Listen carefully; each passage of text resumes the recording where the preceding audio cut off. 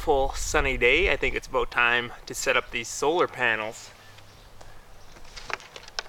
Same ones as I've used last year. These ones are 30 watt and uh, I did end up getting another one too. So uh, going to be a total of 60 watts, doubling my solar panels this year and quadrupling almost my uh, battery reserve. Behind me I've got a little frame I built for these things, so let's not waste any time and let's get these things together.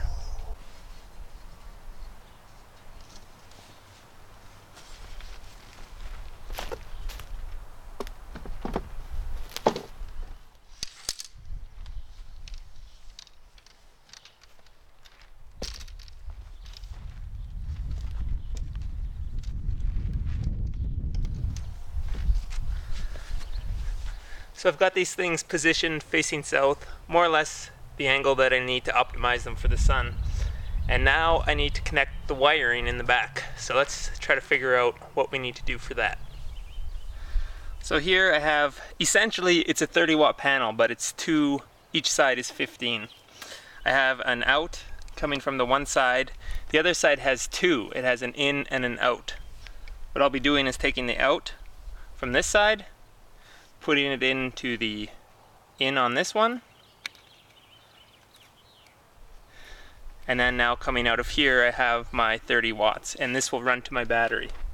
Now I have a whole nother set back here and I can run each cable separately to the battery or I can probably rig something up, put them together so then I only have one cable going out to the battery. So with a little bit of solder and electrical tape I was able to do a little uh, adapter that lets me connect the two panels together.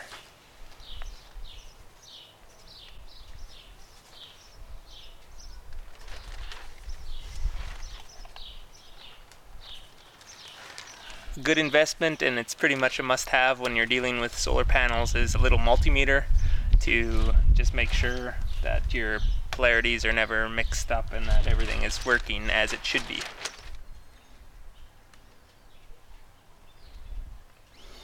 And then I'll be taking the wire that has all my solar panels connected, connecting that to another wire,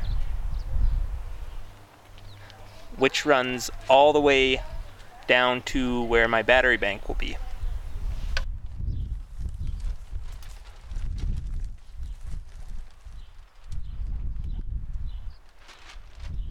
So this is the cable running from my solar panels and they run into this battery box where I have two 6 volt batteries. Um, before I can even think about connecting this guy to the batteries, I need to make these 6 volt batteries 12 volt. Uh, because I have two of them, I can connect them in series and make them 12 volt.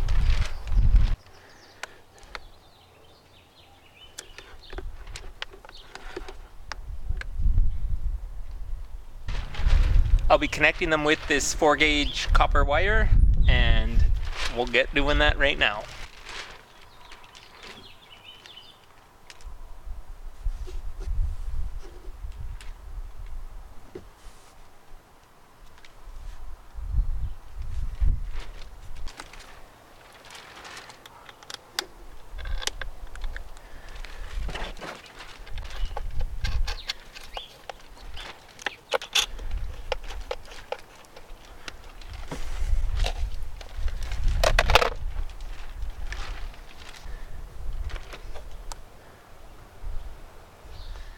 Now that the batteries are connected in series and 12 volts, I can connect the solar panels to them.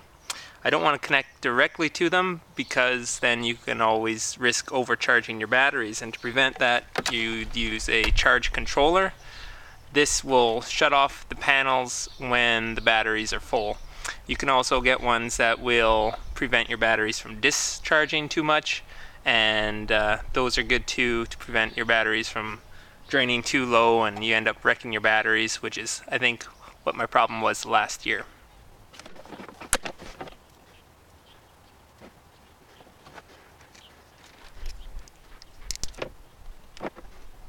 So my power is running through my charge controller now, and all I need to do is connect the out from the charge controller to the battery.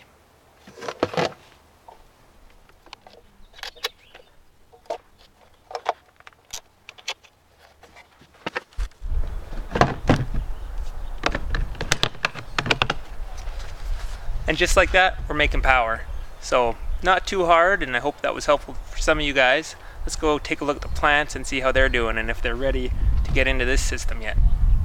So here I am with the plants, and they're not doing too bad. Uh, there was a problem with some powdery mildew and fungus that sprung up, and that did take a couple of plants, but I uh, took some sulfur spray and hit up the leaves, and that seemed to take care of it. So they're slowly recovering, I think, and that might have slowed them down a bit. Unfortunately, that uh, genetically superior giant pumpkin was also affected by it, and it's having a real hard time coming back. If we take a look at it here, it's pretty much the same size as it was about a week ago.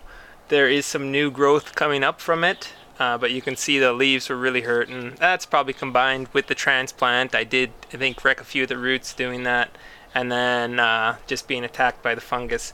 So I'm hoping it will recover. Really hoping. Uh, if it doesn't, I do have a backup plan. So we'll see how that goes. But really hoping this guy pulls through. Aside from that, that's pretty much it. I'm going to give the peppers maybe another week here before I think about putting them into the hydroponic system and uh, we'll get things finished up with that with the plumbing and the pumps and make sure everything's running before those move in. So thanks for watching and stay tuned for the next one.